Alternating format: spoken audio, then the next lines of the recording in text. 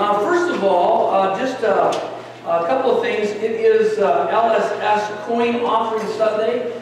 If you don't know what that means, that just means that you take your hand and put it in your pocket you see if the guy who's change in there. And if you want to uh, uh, give that and offer that to uh, LSS and the Center for Changing Lives, that is wonderful. So we'll take that offering during the regular offering today. And then uh, it is also ELC World Hunger. Uh, envelopes are available in the Messiah room after worship. If you uh, didn't get yours a couple weeks ago, we handed them out. we're looking to support World Hunger and I can't tell you how important that is at this particular time in our history. Because of the wars and stuff that are going on, there's so many people displaced. And the ELC is on the front line with those kinds of ministries taking place. And so we want to make sure that we support that. How many of you were able to make it to uh, service on Wednesday? Raise your hand really high. There were lots of us there. It was like 40 people. It was great. We had a great time uh, uh, having supper together and soup, and then following the worship service, some time to again uh, spend uh, together just talking and greeting each other. Next Sunday, March 3rd, is a special congregational meeting. Uh, we're just following up on our annual meeting and approving the budget for this coming year. So please take notice that. We want to make sure that we have a quorum there uh, to make sure that vote uh, is a good and legitimate vote. Wednesday, uh, March 6th, is, which isn't a week, uh, a little bit away, but uh, a couple of weeks now, uh, is our senior luncheon. We're going to be at Perkins on London Road. If you want to sign up so we can let the venue know how many people are going to be there, please do so. That also is in the Messiah room. And then just a, a FYI, things that are coming up. We have a rummage sale coming up in April. And then a, a big thank you, because we had a lot of people donated to our mortgage challenge. Uh, we're trying to pay off our mortgage. And uh, last Sunday, uh, we received uh, $2,930 uh, for mortgage uh, reduction. any other announcements this morning? Feel free to raise your hand if you got something else going. No other announcements? Great. With that in mind, then, we begin our worship service. And I'm going to ask you to stand. We're going to join in our song, Is Blessed Be Your Name. Please rise.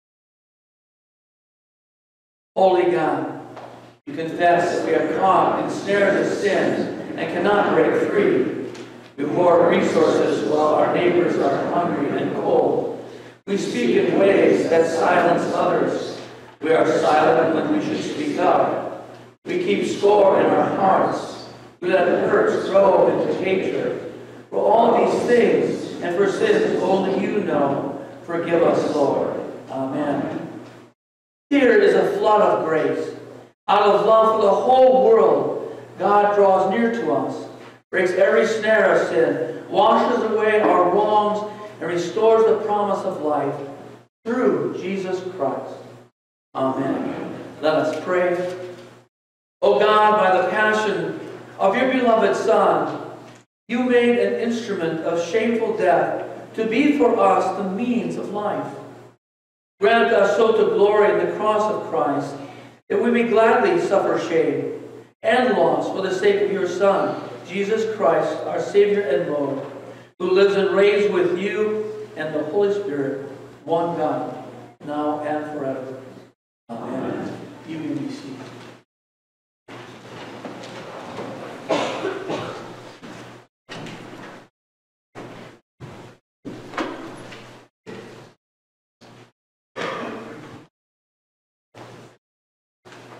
Good morning. Good morning. Our first reading is from Genesis 17, beginning at the first verse. When Abram was 99 years old, the Lord appeared to Abram and said to him, I am God Almighty. Walk before me and be blameless. And I will make my covenant between, between me and you, and you will make and will make you exceedingly numerous. Then Abram fell on his face, and God said to him, As for me, this is my covenant with you. You shall be the ancestor of a multitude of nations. No longer shall your name be Abram, but your name shall be Abraham, for I have made you the ancestor of a multitude of nations. I will make you exceedingly fruitful, and I will make nations of you, and kings shall come from you.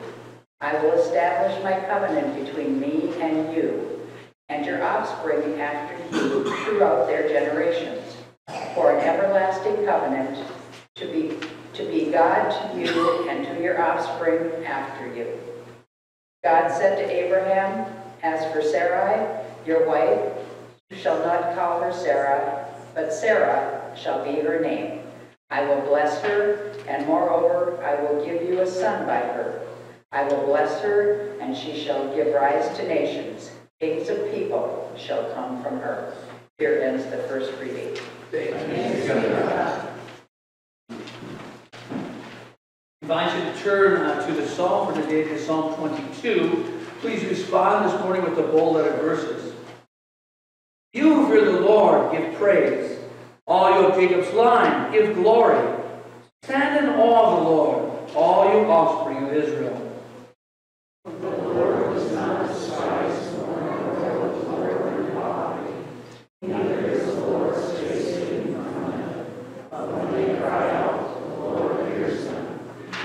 From you comes my praise in the great assembly.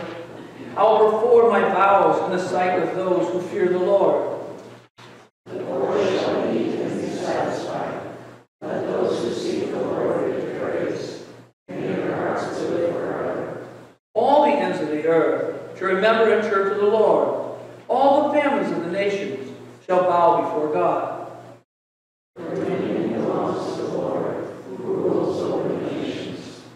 Indeed, all who sleep in the earth will bow down in worship. All who go down to the dust, though they be dead, shall kneel before the Lord.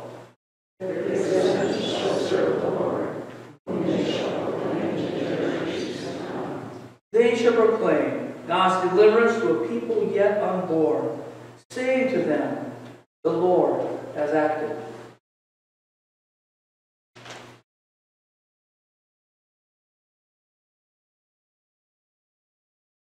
Our second reading is from Romans 4, beginning at the 13th verse. For the promise that he would inherit the world did not come to Abraham or to his descendants through the law, but through the righteousness of faith. If it is the adherents of the law who are to be the heirs, faith is null and the promise is void. For the law brings wrath, but where there is no law, neither is there violation. For this reason, it depends on faith, in order that the promise may rest on grace and be guaranteed to all his descendants, not only to the adherents of the law, but also to, also to those who share the faith of Abraham. For he is the father of all of us. As it is written, I have made you the father of many nations. In the presence of the God in whom he believed, who gives life to the dead and calls into existence the things that do not exist. Hoping against hope, he believed that he would become the father of many nations, according to what was said, so numerous shall your descendants be. He did not weaken in faith when he considered his own body, which was already as good as dead, for he was about a hundred years old, or when he considered the barrenness of Sarah's womb. No distrust made him waver concerning the promise of God, but he grew strong in his faith as he gave glory to God, being fully convinced that God was able to do what he had promised. Therefore, his faith was reckoned to him as righteousness. Now the words, it was reckoned to him, were written not for his sake alone, but for ours also. It will be reckoned to us who believe in him who raised Jesus our Lord from the dead, who was handed over to death for our trespasses and was raised for our justification. Here ends the second reading. Thanks be to God.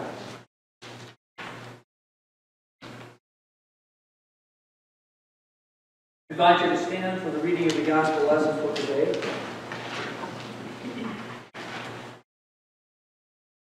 Gospel today is the gospel according to um, Mark, the eighth chapter, beginning of verse 31. Glory to you, Lord. Jesus began to teach them that the Son of Man must undergo great suffering and be rejected by the elders, the chief priests, and the scribes, and be killed, and after three days rise again. He said all this quite openly. Peter took Jesus aside and began to rebuke him. But turning and looking at his disciples, Jesus rebuked Peter and said, Get behind me, Satan. You are setting your mind not on divine things, but on human things. He called the crowd with his disciples and said to them, If any want to become my followers, let them deny themselves and take up their cross and follow me.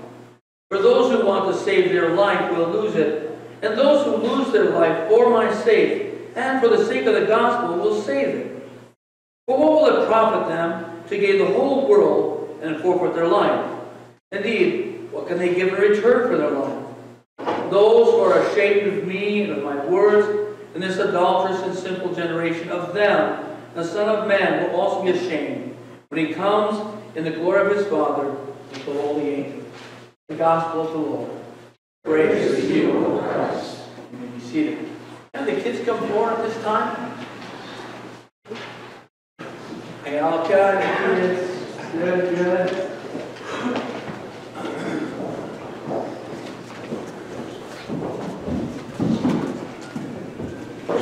Molly's got it going.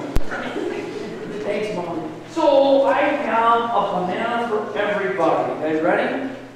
All right.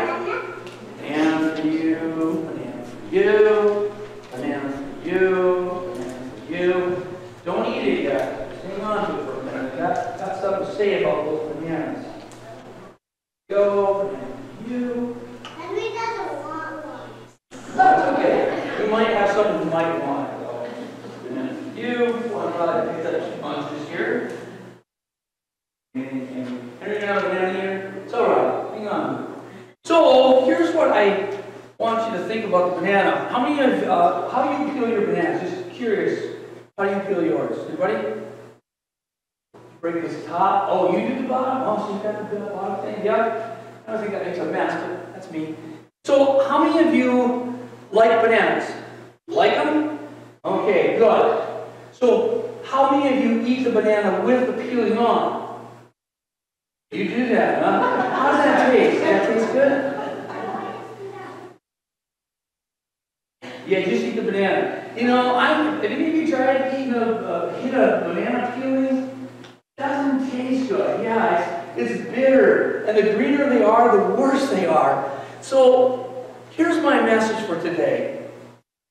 Life in Christ is meant to be the banana, the inside, and unfortunately, our lives get covered with a lot of other stuff. Sometimes sinfulness, yes, but resentments, hatreds, and what, what our, lesson today is we need to peel that away.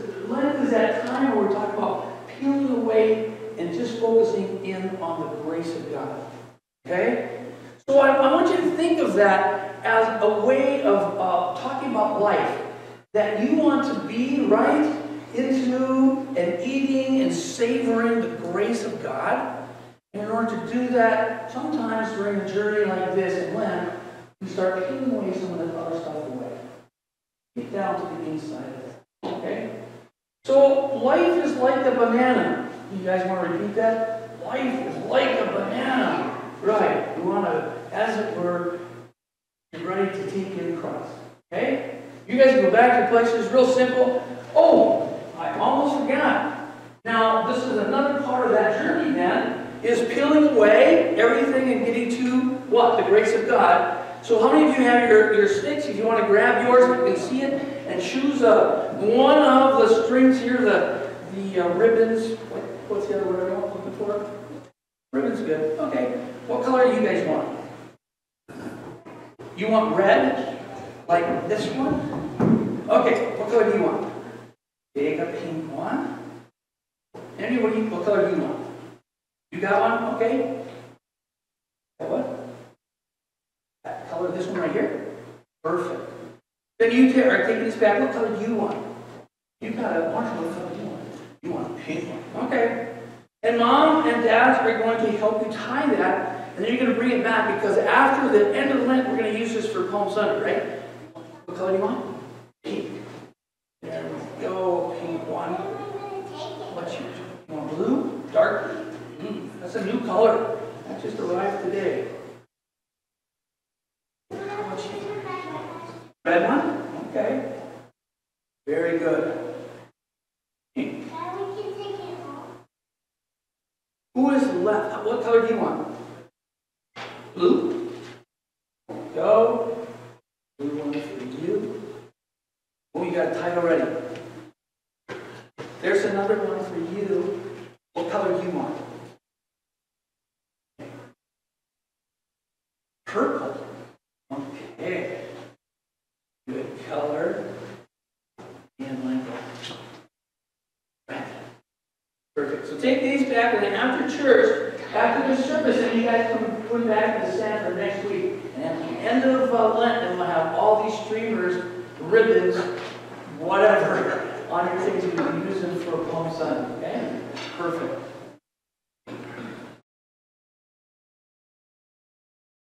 Good morning. Again, thank you for being here. May uh, God lead us in this way of the cross this Lenten season, and also hold us in the palm of His hand. So this is the second Sunday in Lent, and uh, strange as it may seem, my Kid Times message is the very center of the text, the very center of my message. So what I want to do this morning is simply expand a little bit on that idea of what we're doing during this Lenten season, as it were, God is inviting us to peel away some of that nature that is uh, part of who we are, to expose the grace of God so that we can savor and be nourished on the grace of God. So one of the issues that the, for the reading of the Gospels is uh, in this divine drama uh, that oftentimes gets overlooked is this, that the fact that the Gospels were written from uh, after the events that they are recorded. So the events have already taken place, right? And now they go back and they are, are writing and recording what has taken place. In other words, the gospel writers have either been a part of the events leading up to the resurrection of Jesus, or they have somehow had an intimate personal relationship with somebody who knew some of the facts that they are writing down. This means that they are working backwards from the resurrection and filling in all the details and the witness of what took place, and that is a life-changing event for them. This life-changing event was something they're recording. So how many of you have uh, a Betamax and they have a Betamax? Okay. How about uh, VHS? Everybody got a VHS camera? Still got some of those sitting around? And how about the 8 millimeters? Everybody got some 8 millimeters? I think we got every one of those formats. And unfortunately, what happens is oftentimes we've kind of lost the ability to now show the movies that were a part of our family life. But I think this is a time when uh, we're looking back and the writers record this in such a way that we can go back and experience it again. Now, this may not seem significant in most cases, but it matters in today's gospel text. I'm going to tell you why a little bit later.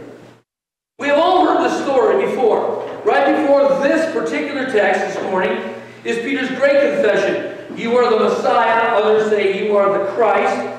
Matthew's gospel expands a little bit more than that. It says you are the Christ, the Son of the living God.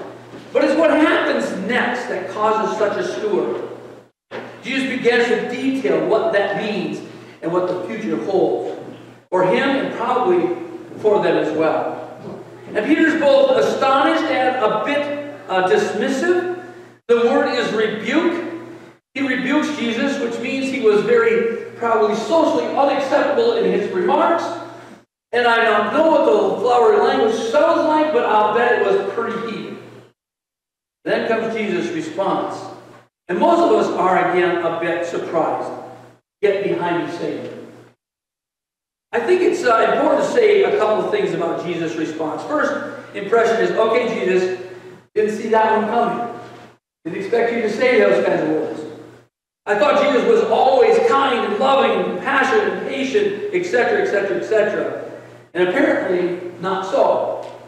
Jesus gets just as in Peter's face as Peter was in his. The point is that when confronted evil, there seems to be no middle ground here, no middle road. Evil is whatever, in whatever shape it takes, must be dealt with head on. And Jesus is, doing exactly that. He's heading evil right in the face and, and talking to him.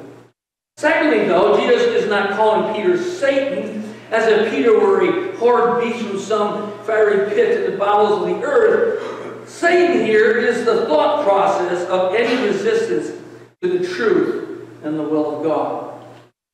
Like a banana, peeling it is not to be eaten because, or digested, because it's rather disgusting. Okay? It must be resisted, must be pulled away, it must be discarded. Get behind me. It is an overt declaration of authority. Get behind me implies that evil is not something to be given a future in our lives. A future that belongs to God cannot be shared with that kind of ideas and that kind of thought process. It's this sense of a mindset that Jesus is demanding from Peter if he is to be his follower. For you are putting your mind not on divine things, but on human things. I cannot help but wonder how we fare in this regard. Perhaps that is the great challenge of our Lenten journey.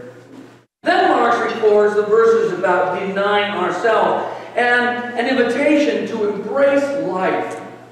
Life in the Greek world was not about a pulse, uh, breathing, and mere physical body. But the word implies something about us greater than just the breathing. Relationships, and uh, a mindfulness, and a, an emotional health peace to us. It is all of life. What does bring us life?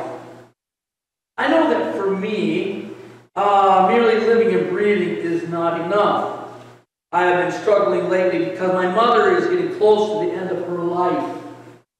In fact, To some degree, her life has ended. She is confined to her bed.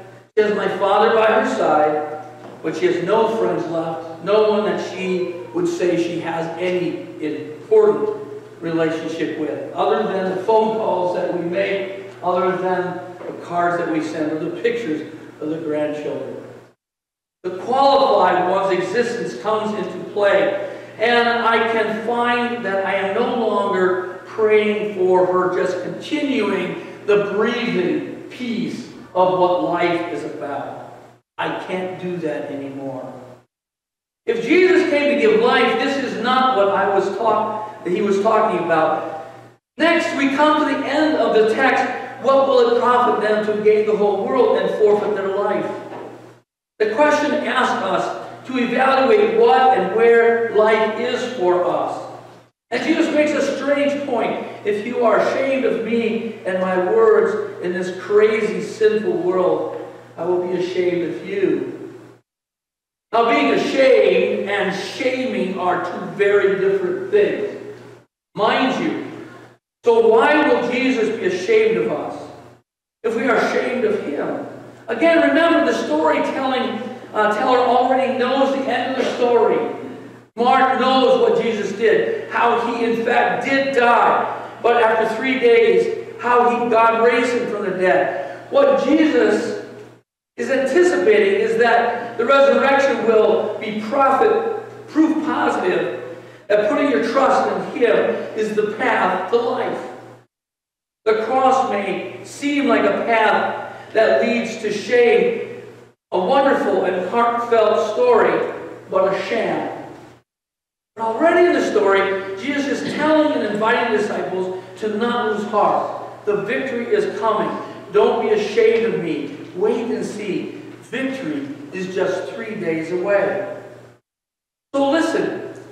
If you are ashamed of me, after all the things that I have done, after all the witnesses to uh, what has taken place, those who are healed, those who, who were raised from the dead, and all of these things, then he says, I would do no more than that, than to be ashamed of you, because I've given you everything I have to give. There is nothing more. Here is the culmination of the gospel then. Are you ready? Even if you are ashamed of me, the shame you will know will come, excuse me, the shame you will know will come when in glory Jesus claims us as his own. Those to whom his suffering uh, was witnessed by them, whose death was witnessed by them, whose cruel death was seen. And then also, as he rose again from the dead, they will have seen all of that. His shame will all the more claim us as we realize that God, Jesus not only claims and loves sinners, but claims them as his own. Of this, we will also be witnesses at the end of the ages. So it is that we claim victory of Christ in the midst of our doubts, in the midst of our fears, in the midst of our wondering what life is all about. He just invites us to embrace life, to know life that's beyond life. Blessed be the journey that we are on, that we may hold to not the shame of the cross, but the victory of the empty tomb. So we also tell our story, right? Knowing what the ending is already claiming that victory in Christ. Blessed be our journey then. Hold on.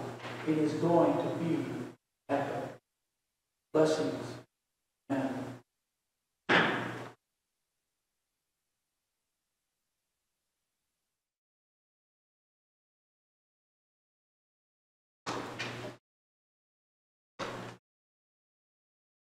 At this time, uh, we're going to uh, sing a song to get my, my team, our team back together, and invite you to join also in a beautiful one uh, song.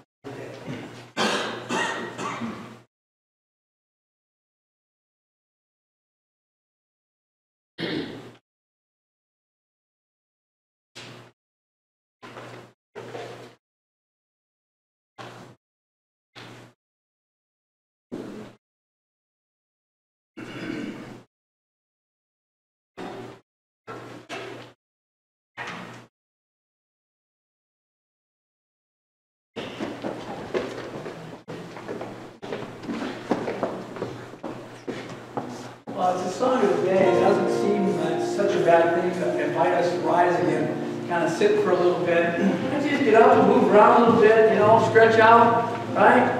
Kind of get your body moving.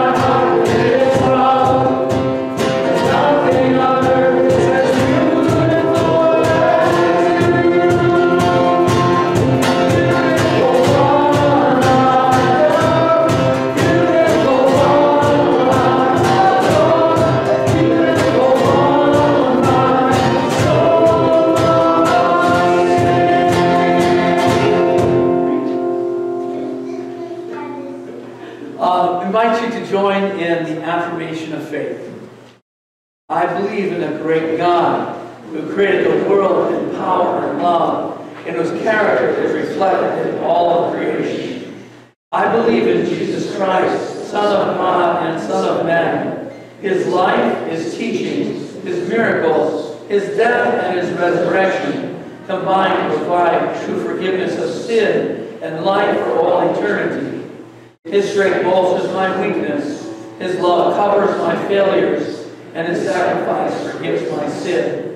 I trust as a friend and brother, a Savior and Lord. I believe in the Holy Spirit, God at work in and among us. I believe that God is present and active in today's world, and I can know some of the joy of heaven right now. I believe that the church of Christ is the people of God, and in prayer, the sacraments, and the fellowship of the church, we can experience meaning and everlasting love in our lives. If I should turn to the prayers of intercession, uh, anybody willing to take that first petition on the left-hand side? Raise your hand really high. Thank you very much. And the second petition? Thank you. Uh, third petition on the left-hand side. Another voice. Natalie, I got you back there. Uh, first petition on the right-hand side. What's that was back there? Thank you. And then the second petition, right-hand side. Jim, thank you. The last petition, right-hand side. One more. Michael, got. Trusting in God's promise to reconcile all things.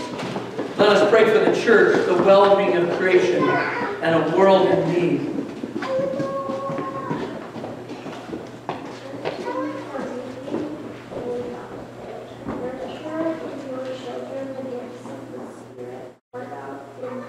Hear us,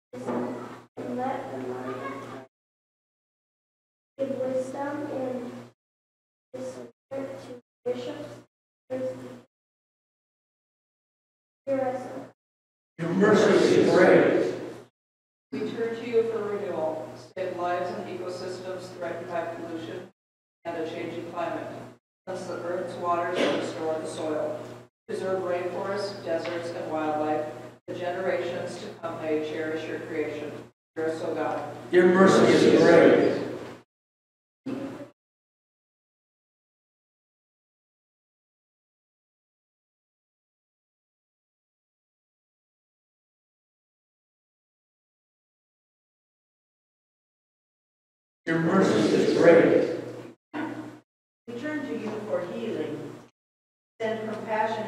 Helpers to any who suffer because of war and violence. Shelter unhoused people. Befriend those who are lonely. Bring hope to any in despair. And console the bereaved, especially those we name in the silence of our hearts. Hear us, O God. Your mercy is great. Serve you for purpose. Remind us of your faithfulness to our, this congregation. Use our trust in your guidance and keep us near the cross. Grant that our acts of service will express Christ's sacrificial love. Hear us, O God. Your mercy is great. You are the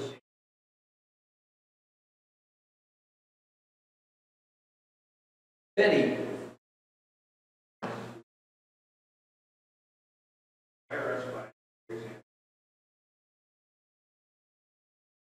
Your mercy is great. Accompany us on our journey, God of grace. Receive the prayers of our hearts. Through Jesus Christ, our Savior. Amen. The peace of the Lord be with you always. I invite you to turn and share the peace of Christ with each other at this time.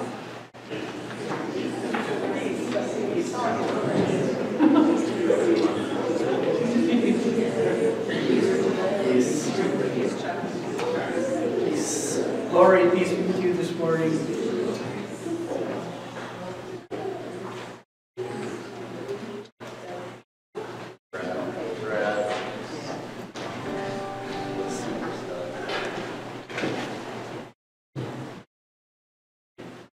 As you are seated and as we are preparing for Holy Communion, let us receive uh, uh, the offering this morning.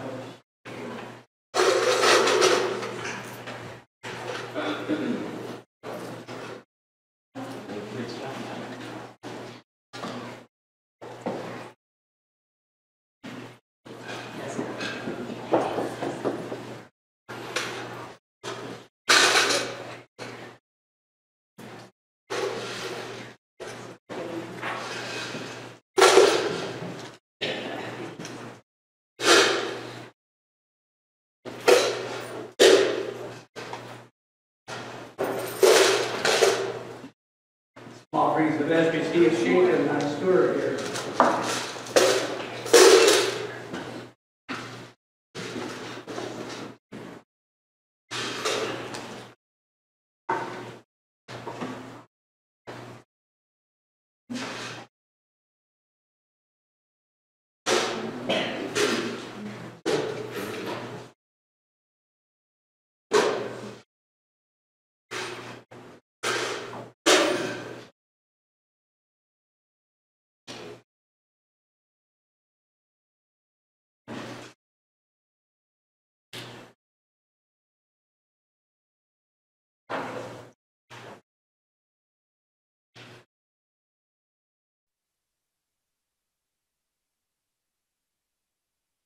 Let us rise and receive our offering.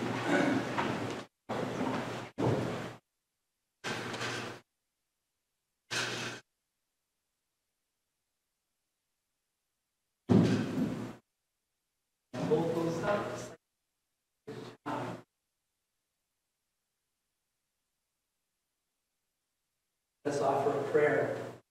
Jesus, you are the bread of life and the host of this meal. Bless these gifts that we have gathered that all people may know your goodness.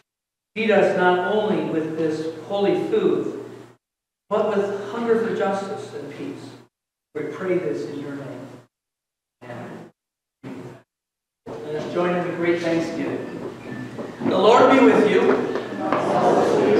Lift up your hearts. Let's give thanks to the Lord our God. It is right to give thanks and praise. We declare ourselves to be a gathered community in Christ.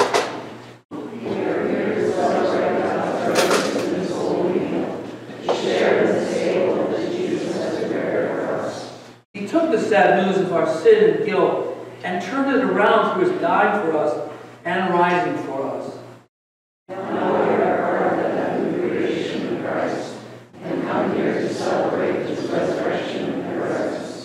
Jesus was broken for us and torn apart for us to be healed.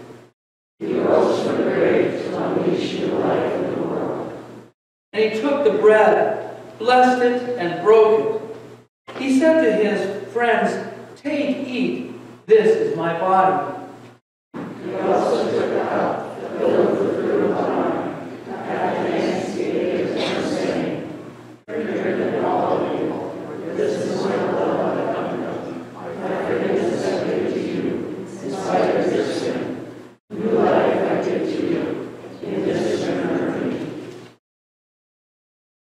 I invite you to join me in praying the prayer that Jesus taught us. Our Father in heaven, hallowed be your name. Your kingdom come, your will be done, on earth as in heaven. Give us today our daily bread. Forgive us our sins as we forgive those who sin against us. Save us from the time of trial and deliver us from evil. For the kingdom, the power, and the glory are yours, now and forever. Amen. You may be seated. Holy Communion uh, will be received by, again by intention uh, this morning.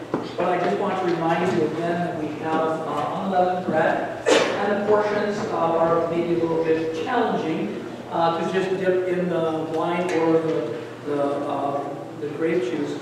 I invite you just be careful about that. And then the other thing is to remind you that all are welcome here at Kenwood. Uh, this is the Lord's Supper and the Lord's table. All are welcome. Um, invite you to come forward, therefore, as the ushers direct, and uh, receive uh, the bread dipped in the chalice. Welcome to make the sign of the cross in the atmosphere of baptism. Come now for all is Then be ready for us.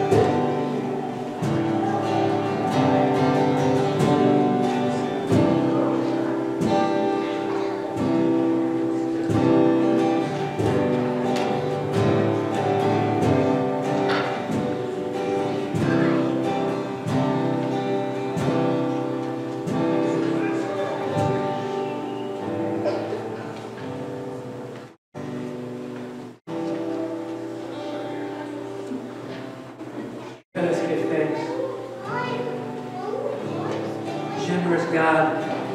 At this table, we have tested your immeasurable grace. As grains of wheat are gathered into one bread, now make us one boat to feed the world in the name of Jesus, the bread of life. Amen. Rise and receive the blessing. Beloved, we are God's own people, holy, washed, renewed.